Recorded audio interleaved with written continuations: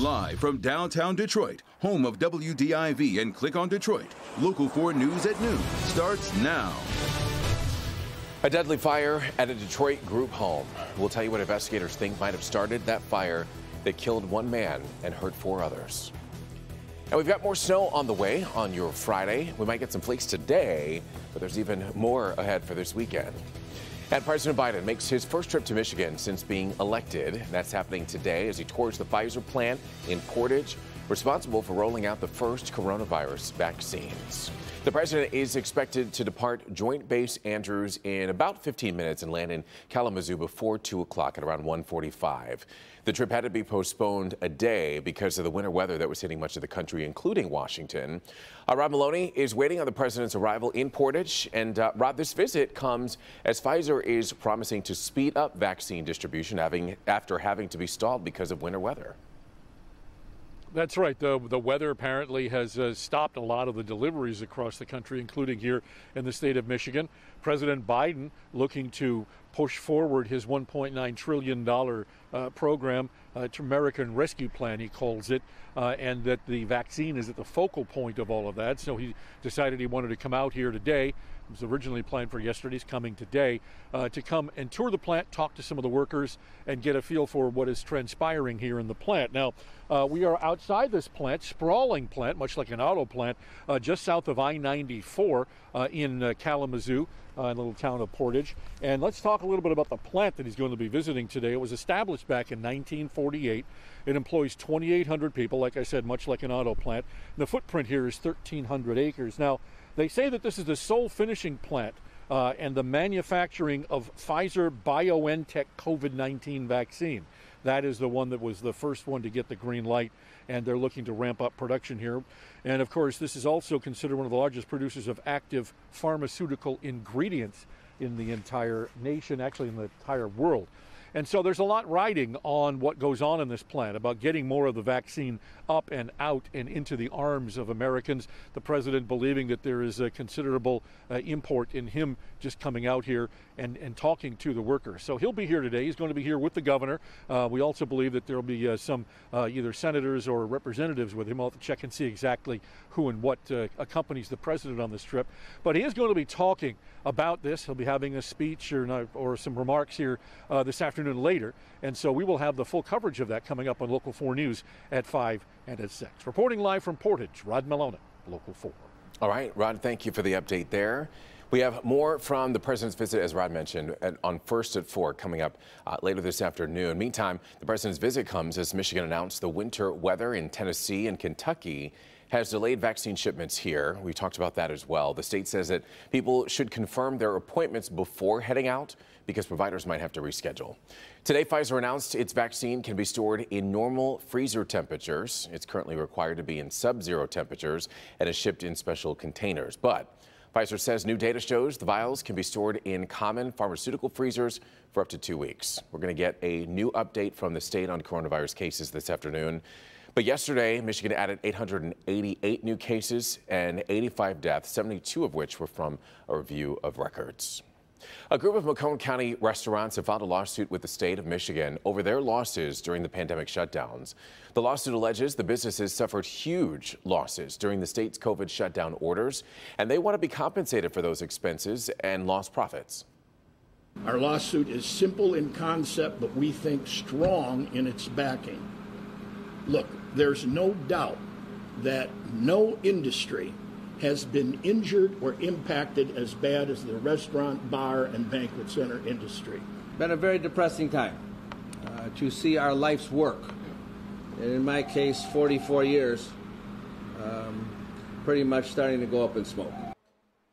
Attorneys hope to take the lawsuit to a jury trial. So far, no comment from the Michigan Department of Health and Human Services. Forecast on this Friday as we are anticipating some snow. it's been uh, uh, just a repeat day after day, Brandon. Yes. If we get another three, four inches this month, it will be one of the top 10 snowiest Februaries in Detroit history. And we've got a couple of chances anyway. Including today, but it's uh, pretty minimized by just scattered showers. Temps are 23, 24, 25 degrees, 25 Port Huron, 21 in Ann Arbor. West winds, west northwest winds are 5 to 10, so wind chills if you're heading out and about on this Friday afternoon. We're looking at lower to middle teens. Ah, just enough of a breeze there. Mostly cloudy skies. At times we get a little bit of sunshine, but we're also tracking snow shower chances after 3 p.m. Our high today will be 27 degrees. Right now, the snow confined to extreme western lower, and parts of western lower could produce enough uh, off of Lake Michigan for three to five inches. But coming back our way, Evrod, it's going to take a little while for these snow showers to get going. However, those who get them could see a pretty steady flow of snow for a short time. We'll keep an eye on that. Again, later in the afternoon and evening, another weekend storm that we're tracking coming up. All right, Brandon, we'll see you in just a little bit. We have new information this afternoon about a fire that killed one man and sent four others to the hospital overnight. It happened at a group home on Burns, right near I-94 and Van Dyke. That's on Detroit's east side. Our Grant Hearns joins us now live this afternoon with more details on where the investigation stands right now. And do we have any idea what would have led up to this fire? Evrod, they're a little short on details. Investigators are still working through this fire. But you take a look at this damage here, you can see just how intense this fire was. And we don't have a complete idea of the damage inside, but it could be likely that this house is a total loss.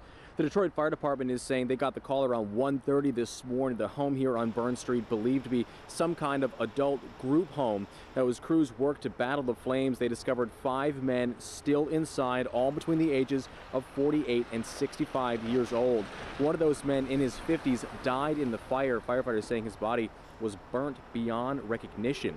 The other four men were taken to the hospital for burns and smoke inhalation one of those men, a 65 year old man, is still in critical condition at last check. Now, so far, there isn't an official cause for what started the fire, but they think it may have been an electrical fire, possibly starting with an overloaded power strip. At least one neighbor here told us this morning that the sound of breaking glass woke him up last night. It woke me up. That was it. And I came out to see what was going on. The house was ablaze. Uh, I started checking mine to make sure those embers wasn't flying over this way. Maybe take a look at the north side of the house. You can see all of those broken windows blown up there that he was talking about. Those windows blown up all the way to the very top floor of that house. That damage extending around to the front door and the porch here behind me. Now, we are working to figure out if this is an adult group home and if that's what it is, who owns this home, who runs that home. So we'll hopefully have more details for you later this afternoon. On Detroit's east side, Grant Hearns, Local 4. All right, Grant, thank you so much for the update there.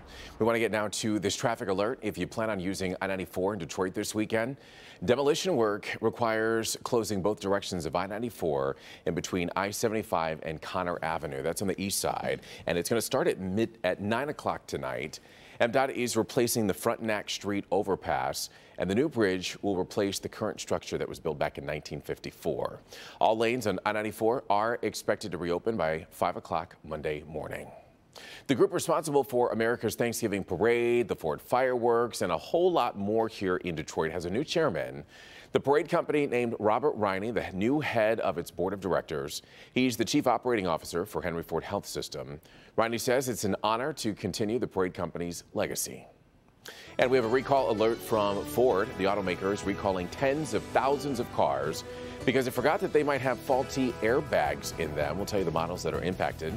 Plus, swapping one crisis for another. As power is restored in Texas, many are losing access now to water. We'll talk about the struggles that are happening there coming up next.